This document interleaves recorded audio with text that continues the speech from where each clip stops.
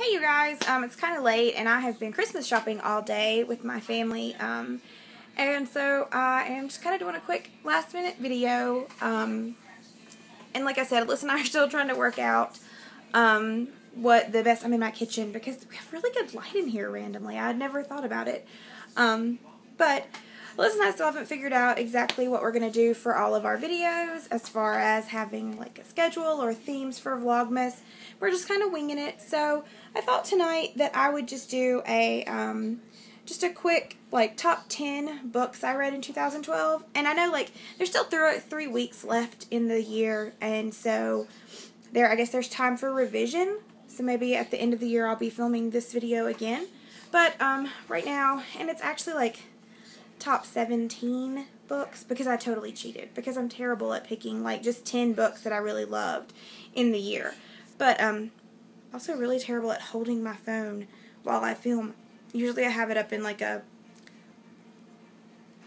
you know, one of those things that holds your phone while you film, tripod type thing. But um not tonight. I'm just winging it cuz I'm awesome.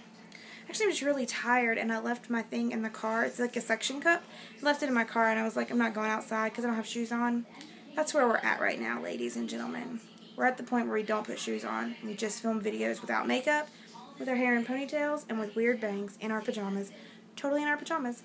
Anyway, top 10 books of 2012 plus 7 because that's awesome. Um, so first I started with Out of Sight, Out of Time by Ally Carter, and that's the most recent book in her Gallagher Girls series, and they're about um, teenage girls who are spies in training. It's kind of awesome and really like girl power, but also, um, I don't know, I just really like them. They seem like they would be fluffy or not so serious, but they always are really, um, they really explore friendships and dealing with complications in your life really realistically, considering that, like I said, takes place at a spy school and they're always having to do like secret missions in like the tiny town. Plus bonus points because it's set in Virginia, which is always a plus for us because we're in Virginia. Um, next, I picked The Book of Blood and Shadow by Robin Wasserman. And it's essentially like the Da Vinci Code. If you guys read the Da Vinci Code and liked it, um, there's a group of bad guys and like a secret society and a mystery and dead bodies and history and just all of those things that are really fun, especially like I said, if you're any kind of like um, a religion nerd and like you like to look into things about the origins of religions or the origin of sects, like S E C T S's, not not the other kind of sects. Um, actually, that's just a lisp I have that I can't say that word ever correctly. But um, it's really I don't know it's it's really good. It was one of those books that I was not expecting to like as much as I did. Like I really wanted to like it. I like Robin Wasserman a lot. I really enjoyed the Da Vinci Code. And when I first started it, I was just kind of like, this is kind of blah. And then the longer I read it and the more I read, it just got better and better, and I really enjoyed it. And so I put it on my top 10 list of 17. Um, next, I picked Bumped and Thumped by Megan McCafferty, and they, um, it's a duology, and I can't remember if I read Bumped this year or if I read Bumped at the very end of the year last year. But I know either way, I reread it when Thumped came out um, just because I wanted it to be really fresh. It um, is a dystopian, but it's one of those that, like, I really didn't even pick up on the fact that it was dystopian fiction until I got to the end of the first novel, and I was like, whoa, wait a second. Megan McCafferty, did you just, like, slip me dystopia in this thing as well as like a treatise on society and the way we value human beings because you are good if that is the case. And that's exactly kind of what happened. Um, they live in a society where you go like barren when you hit 18 and you can no longer have children. So um, it's this really big honor for kids, even as young as like 13, to be having babies. And they have babies and then they sell them to people who are older, and it's just like they're perpetuating this thing. And it's illegal to use any kind of birth control. And if you contract out to have a baby, like if you are like really pretty and really smart, um, you're kind of like, as a child, you're just kind of engineered to be like this baby making machine. And if you like just, they, like, if you just get pregnant from like your boyfriend or a really good friend, then you have to kind of just like auction your kid off but if you um, are cultivated and you're contracted and they buy you to have your kid, then like you can get millions and millions of dollars for it. So it's kind of like really messed up and like I said, like there's this whole culture built around like having children and the idea of having children and um, the value that we place on youth. Kind of, I don't know. It's really complicated to explain and make it sound good, but they were both like it was a really enjoyable story, and I was intrigued from the get go. Even though um, there's a whole slang language that McCafferty creates as part of her story, um, even with all of that, I was still really, really impressed with the story, and I was really interested. And then, like I said, I got to the end of Bumped and was just kind of like, hold up. Wait just a second. It's kind of just like a surprise thing that, like, after you finish reading it, you're thinking about the things that you place a value on, um, like things like appearance and what makes you worthwhile as a human being. You know, in this society, it's the ability to have children, it's the ability to have, like, genetically superior children and then like in our society a lot of times um, importance is placed on wealth or physical beauty physical attractiveness as opposed to a lot of other things that can be considered a lot more important than the shape of your face or how much money you have. Anyway enough on that tangent. Um, next i picked shadow and Bo- shadow and bone by Barda- bardugo. Probably butchering all these names. But um, it was a fairy tale, but not a fairy tale retelling. It was an original fairy tale set in a very Russian type um, setting, and it was just fantastic. And of course, it's the first in a series or the first in a trilogy, um, and it kills me because it was so so good. And it was one of those books that I don't know I I heard so much hype about it, and the cover's so so pretty, and then I read it, and I was just as happy with it after reading it as I was. Um, it totally lived up to my hype. Um, next, I picked Everybody Sees the Ants by A.S. King, which I reviewed earlier don't need to say a lot about. If um, you've watched that review, you know I really liked that book. And it was one um, deals with bullying to an extent, but also like psychosis, and I enjoyed that a lot, a lot. Next is Daughter of Smoke and Bone by Laini Taylor. Let me just tell you about Daughter of Smoke and Bone. It really frustrates me, and actually the sequel's out now, but last time I was in the bookstore, I peeked at the very end of it, and it doesn't say the end, it says to be continued, so I'm kind of debating whether or not I want to read the sequel, which is Days of Blood and Starlight. They have awesome names. But um, Daughter of Smoke and Bone is one that I had had for a year, I, almost, when I read it, um, several, several months, like and I read it in September because the new book was coming out in November and I wanted to have read it and had time to process. And when I got to the end, I was so angry that I was going to have to wait another two months to read the sequel. And I wish that I had just not read it at all because it was just so, so good. Um, it's set in Prague, and there's this battle between um, angels and there's a word, and I can't think of it because, like I said, it's it's almost nine o'clock. I've been awake for way too many hours now, but um, you know, the main character is being raised by chimera. That's the word. Chimera, chimera, whichever word. She's being raised by these chimeras, and she lives in Prague and goes to art school. And then she comes home one day, and there's a handprint, and she has to figure out um, what happened, and she meets this boy, and there's kind of some insta love, but it's explained really well, so I let it go. And it's just, it's a story that I was intrigued with from the very first page, and I really enjoyed to the very last page. And I enjoyed it so much that I don't want to read the sequel because I don't want to have to wait for the last book. So I'm seriously considering just not reading it at all until, like I said, until the last book's published because I'm impatient and I like to wait for things. Next is Small Town Sinners by Melissa Walker, and this one's kind of different take. And I read it, um, I read it uh, at the very beginning of the year, I think. So I don't have a lot of details, but um, I wrote after I read it. I keep kind of like a reading journal kind of thing, and I text our friend Katie a lot because we read the same books and um, everything. And I remember texting her and telling her that Small Town Sinners said everything that I wanted a book about Christianity in a small southern town to say Um, it addressed a lot of issues that are difficult for, um, I feel like teens growing up that are making those choices um, to deal with. When they're, it, like any religion, I feel like there comes a time where you question your belief system, or if you don't have a belief system, if you should have some sort of belief in some sort of God type figure.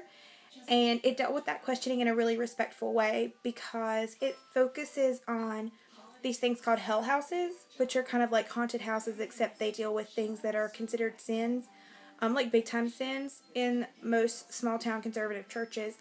And the main character goes through this whole crisis of faith and this evolution. And when the book ends, she still has a lot of questions, which I appreciate because I don't feel like at 16 you have anything figured out.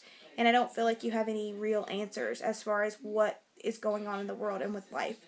So, um, I feel like it's a really really fantastic um just it's good it's a it's a fantastic book about faith in general and it's also just a really well written book that's really respectful um it's it's just really good um next i put down the evolution of mara dyer but with that has to come the unbecoming of mara dyer um by michelle hodkin and I read Mara Dyer 1 last year when it came out, and it was phenomenal. And it deals with, um, it's kind of like that movie Identity, kind of in a way. Um, and it's of the fact that Mara has suffered a huge trauma and has post traumatic stress disorder, but she also thinks that she can, like, do things like parapsychology, which I'm a little fascinated with. And it's a really good story. And like when I finished it, I was so angry when I finished Evolution of Mara Dyer. I was so very mad that I had to wait another year for the book to come out. This is a theme. I don't know why I read books in a series until they're all out because I just get really, really angry that they're not all available. Um, and again, my friend Katie, I sent, I took my copies to her and was like, "Here you go," and she read them um, over Thanksgiving break and texted me and was like, "Michelle Hodkin is evil incarnate." And I was like, yeah, I know, because this book is fantastic. Um, really great storytelling. Mara is a character that you don't always like, but you always want to like. Um, I'm off, I found myself pulling for her the whole time. So if you like any sort of like psychological type mysteries, I think this is like the ideal book for you. Next, um, almost by default, is The Fault in Our Stars by John Green. If I read a book by John Green during the year, it's generally the best book that I've read. And I actually um, on this book, unless it was the a first book in a series, I didn't count any book that I had reread. Um, I reread several books this year and loved them and gave them five star ratings um, on Goodreads, just like I had the first time I read them. But um, so these are all books that I've read for the first time this year. Like I said, unless I was rereading because the sequel came out. But The Fault in Our Stars follows Hazel and Augustus, who are two teens with cancer so it automatically just sounds terrible. But if you've read anything by John Green, or you follow him on Twitter, or you've watched his Vlogbrothers videos, you know that he is really good at pairing really serious subject matter with lighthearted, funny bits. And even though I couldn't read this book in public because I um, cried hysterically while I was reading it at the at parts, um, I also laughed out loud and was just really impressed by the story writing. And as always, like his characters are so fantastic. Um, I would I actually um had a conversation with my friend Katie again and also I think with Alyssa and I said to them in the movie Sleepless in Seattle there's a scene between Rosie O'Donnell and Meg Ryan where Rosie O'Donnell says to Meg Ryan like you don't want to be in love you want to be in love in a movie which is one of the best movie lines ever I think because they're in a movie and she's in love with Tom Hanks's character but I sent them both messages and was like, you know how this happens in Sleepless in Seattle? And I'm like, I'm similar. Like, I don't want to just be in love. Like, I want to be in love in a John Green novel because I just love all of his main characters. They're fantastic. And I want to be their best friend and I want to be their girlfriend and I want to be their siblings and I like whatever there is that you can be. Like, I want to be their parent. I want to be everything because I, I love his characters and they're fantastic. However, this year, TFIOS was not my number one favorite book of the year. The best book I read this year was Endangered by Eliot Schrefer. And I've written a review that I want to film, but it's still hard for me to put into words um, how fantastic Endangered was. Um, essentially, I cried like Harry Potter and the Deathly Hallows cried. And if any of you are book nerds and are Harry Potter fans, then you will understand like what that means. Uh, pretty much from page 16 till the end of Deathly Hallows, I sobbed uncontrollably. Um, at times, I have to have to put the book down and cry and cry and cry, and then pick the book back up and read through my tears once they had subsided. And Endangered was kind of like that, but it was a really powerful story, and it wasn't sad. It was just, it was so moving, and I feel like it has the potential to change the worldview of other people. Really like really change that worldview. Um, I'm already really conscious of things that are going on in Africa, where this is set in the, the Congo.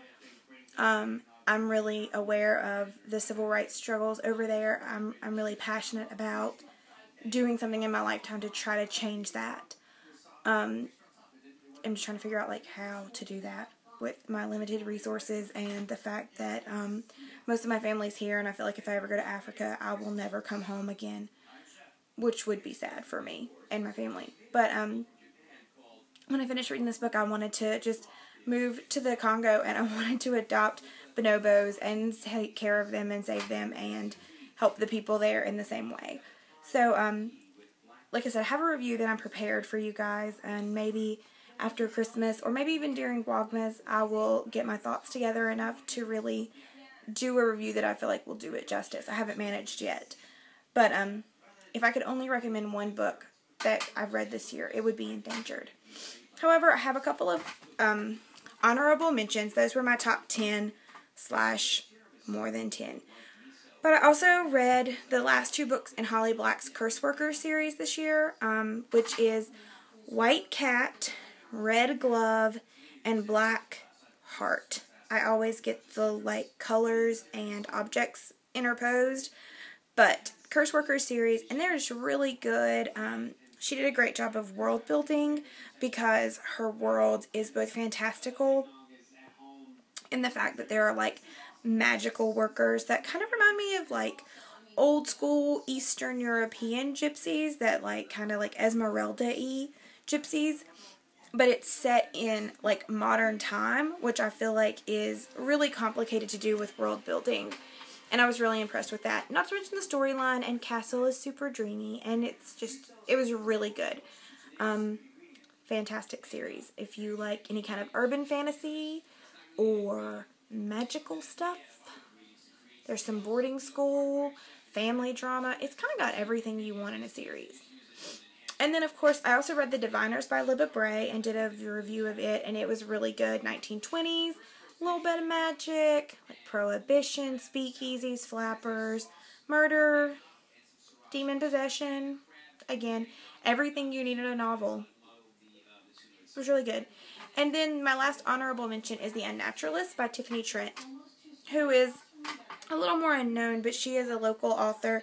She actually only lives about an hour away from us, um, from me, um, and about like 30 minutes from where Alyssa lives, kind of, in the New River Valley, and it's a steampunk book. It was just really good. Um, I was happy to see it. She had a series come out earlier that didn't make, um, it didn't get, all of them didn't get published, and I've been a huge fan for a lot of years, but I absolutely love The Unnaturalist, and I'm really excited to reread it next year um, when the next book comes out. So this is a really long video because I've rambled a lot. I blame being tired. But hopefully um, you watched all of it. If you did, then you get five cool points. Um, if you didn't, then it doesn't matter because you didn't see this part. Hopefully Alyssa will have a video for you guys later and tomorrow, and I will see you on Wednesday. Bye.